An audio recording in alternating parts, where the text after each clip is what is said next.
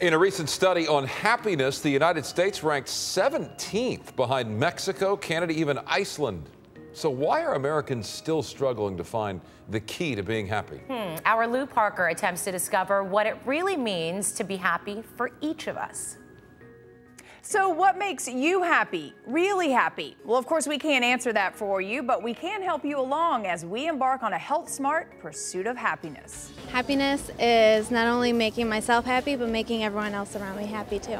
Everyone has a different definition of it. If you follow your dreams, then happiness will come soon after. For some, it comes easier than others. I'm still trying to figure it out. But the fact is, millions are searching for that natural high.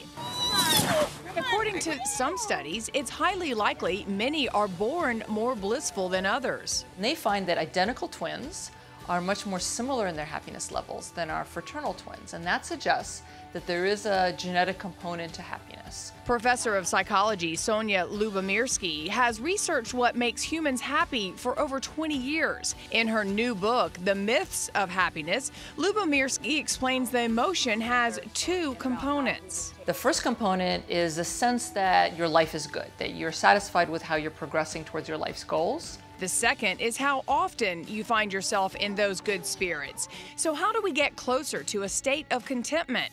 Count your blessings. People who try to be more grateful and appreciate what they have um, can become happier and sustain their happiness. Random acts of kindness can also kick your happiness into high gear. And the less you compare yourself to others has been shown to elevate joy. So maybe overall, being happy means being health smart. Lots of research shows that positive affect and happiness is associated with, you know, less likelihood of a heart attack, living longer, less pain, um, and a stronger immune system.